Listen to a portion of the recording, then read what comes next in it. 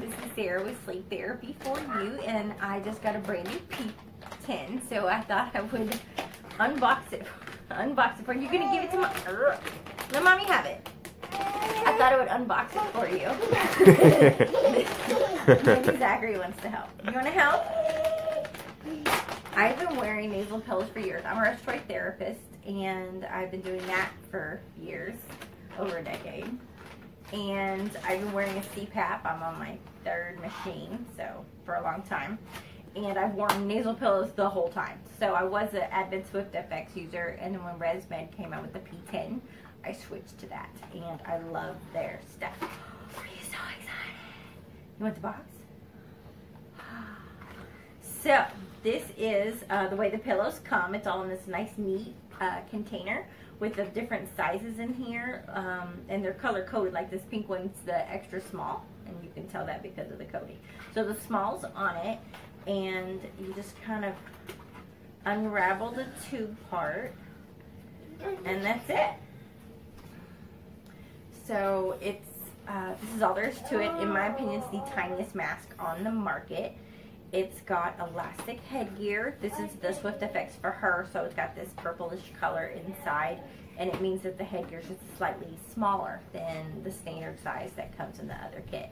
And then um, the nose pieces have left and right nostril marked so that you know um, which way to face it at you. The other side is completely blank. And then the size is in the center here. One of the things I like about this is um, I noticed that this texture behind the small. It's a different feeling. So in the dark, I can feel for that with my finger and know which way to face it to put it on. Sit down, let's try it on. So when I put this on, I put my hand through this back strap like this. And I don't even really mess with that top strap. It just sits there. Come here. Sit down with mommy. so when I want to put it on, I put my nose in there, and then I bring this around behind my head, under my hair, like that. And I feel like it's real important to lift this out and make sure that it's not pulling on the skin around my eyes so that I don't have lines in the morning and so I'm not adding to my wrinkles. So, you put your tube in the end like this. And you, uh, if you want to get this in and out, you just bend it like you're breaking a stick and it'll come right out for you. I use auto start on my machine, so I just breathe in and it comes on for me. I sleep on my side. I use a MyPillow. I love my my pillow. So I have my tube going up over my head this way, and all the tubing is between my machine and the headboard here. Of course, I sound funny because the air's on. That's it, just like that. That's how I sleep with the hanging off. So you can feel the air coming out here where I'm exhaling.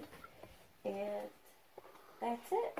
I'll sleep all night. And when I get up in the morning, I turn off my... You want to be sure and wash it. Um, you'll take your nose piece off, just pinch it and pull. You'll see it's got two different tabs here. A smaller one and a bigger one. And you can just pull that and take it off and wash that in the sink with a little soapy water, something antibacterial um, on a daily basis. And then once a week, of course, you're going to wash the whole thing with soap and water. Every time you wash this headgear um, and get it good and wet and soapy and warm, when it dries, it tightens back up, which is fantastic. So it'll fit nice um, for a really long time. And you won't usually have to worry about doing anything to make the straps tighter. It does have um, these little adapters that come with, I call them bouffant buttons for when ladies have bouffant hair. And they really stretch that strap out around while they're putting it on their head. Um, they wear that strap out really prematurely. And you can send this strap up through these little teeth here. And create a loop so that you can add more tension and take space out right there.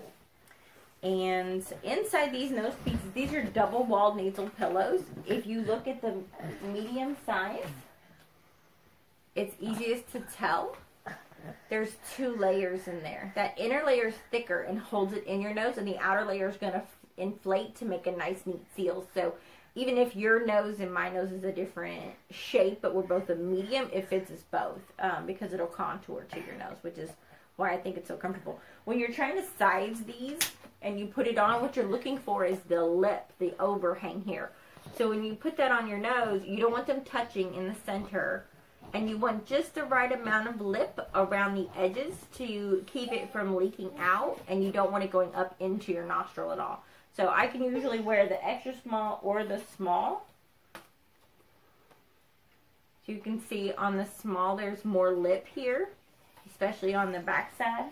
But then the medium, you can see they're too close together in the center. They're almost touching, and I've got way too much lip out here, and it'll start to buckle, and it'll leak. So I can't wear a medium. So generally, you wear one size all the time, and you change these twice a month per the manufacturer. Um, I find they last longer than that. It's a very great product. And that's pretty much it. So let me know if you have any additional questions about the P10 nasal pillows mask from ResMed.